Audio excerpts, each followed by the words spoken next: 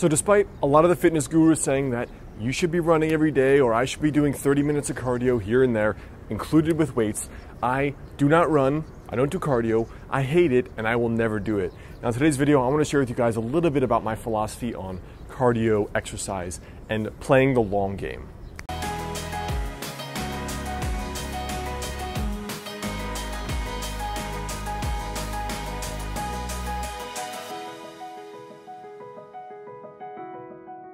What's up, guys? I'm Alex Hine, author of the book Master the Day. Now, the main thing is that philosophically, I believe you should do what you enjoy. Because if you think about if it takes thousands and thousands and thousands of habit repetitions to actually see results, see the fruit from something like exercise habit, then if you hate that, that's thousands and thousands and thousands of days that you actually hate. And so for me, being a person who hates running, I'm also a lifelong asthmatic, this is one of the worst ideas because number one, I'm not going to be motivated. Number two, it's just going to build that negative association with exercise and with working out. So my whole thing, my whole shtick, my whole spiel here is all about the fact that you should always take the long-term mindset. It's just like if you're dating a person and you actually care about them, you're going to jump through hoops to make sure the relationship works. You're going to get off work early, or you're going to buy the flowers, or you're going to take time to plan a nice date. You're going to do the work. And often we do the work when we like things. I know that sounds shocking, very surprising. And the reality is that intrinsic motivation, stuff you like to do, the actual habit of, often wins out versus extrinsic motivation. And there's even research that I've profiled before in motivation articles where the more we use extrinsic rewards, for example, being like, I'll get 50 bucks if I do that habit, or I can have the cookie if I go to the gym. The more we do that, the less we become intrinsically motivated to just do the habit. So there's a little bit of the paradox there. My first thing is I always try to do what I enjoy because it takes longer than you think, it's often harder than you think, and we're talking not weeks, we're often talking about years for achieving a lot of our goals. You know, and fitness is a really good example of that. And the second reason is that I like going to the gym as a phase switch. So I'm going to shoot a video at some point on productivity here, but the most effective thing I found for achieving my goals is breaking my day into chunks. So there's a morning block, there's an afternoon block, and there's an evening block.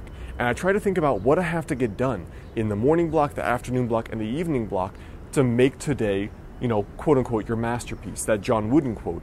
If you figure out what has to go in each block in terms of habits, then you're going to realize, well, okay, all I have to do is this habit, that habit, that habit to be happy, healthy, and in a good relationship. The thing is, for me, after the first two blocks, I'm really tired by four or five o'clock. And the idea of going to the gym, which means getting out of my house, or getting out of the office or getting out of somewhere else, it just helps me flip the switch, psychologically change state, change where I am. The very act of changing where I am often gives me more energy. I've used this same tactic, changing a location to change your state. I've used that for writing all my books. I would either go to a cafe first thing in the morning or last thing at night. I've used that for shooting videos. If I'm at home, they almost never get done. I've used it for creating programs, again with cafes or in the summer in July, I booked a one month sabbatical in Spain and Portugal to finish writing my last book. So, that idea of changing the physical location for motivation and energy has been monumental for me. I still do it every single day. And for me, going to the gym instead of running means I have to change my state because I am physically changing my location rather than, you know, I'm on my couch, I'm like, ah, should I run outside and run back? Or it just motivates me a lot more.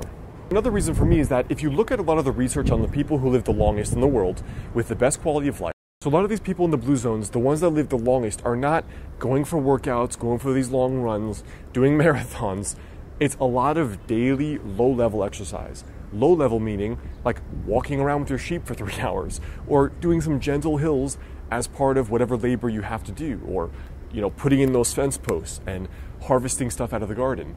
It's a lot of low level exercise. And for some people, doing lots of cardio, lots of intense exercise has been linked to an overactive stress response. So it secretes excess cortisol, which is really damaging to the body. Now, if you like it, I'm not going to tell you to stop doing it. But for runners that are running 50 plus miles a week, there is an increase in the stress response in the body. Generally, we're not designed to be doing that much intense cardio.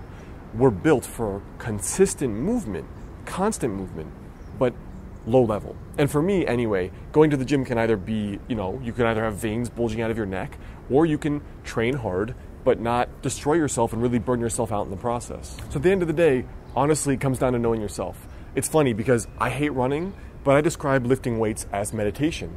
And I have runner friends that say the exact same thing that it's the runner's high for them.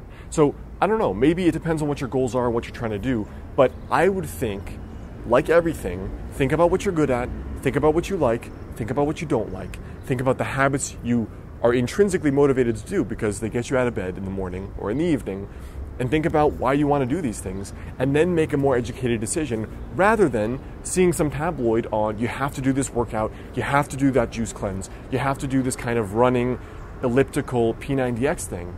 You should just do what you want. You should just do what you enjoy because that's what the longevity is. That's why I've still been in the gym 11 years later when many of those years I saw no progress. None like zero progress whatsoever.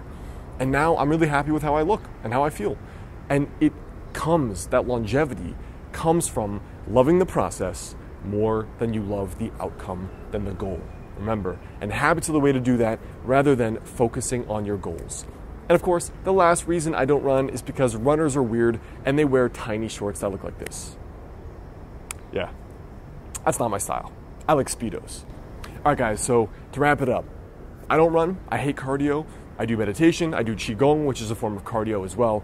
But you should do whatever is aligned with what you like and with your goals, and don't follow this kind of blind, one size fits all advice. If you like running more than you like lifting weights, do that. If you like lifting weights more than you like running, do that.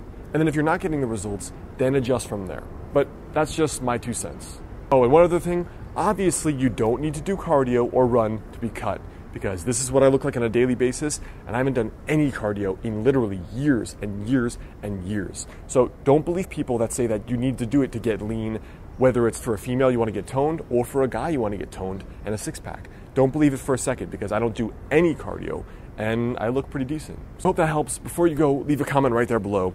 Are you more on the weightlifting calisthenics end or more on the cardio end? Let me know right there below and let me know why because I want to find out. Hey guys, so there's three ways to stay in touch with me. The first is to go over and get that free guide, five daily habits to help you lose your next 20 to 30 pounds.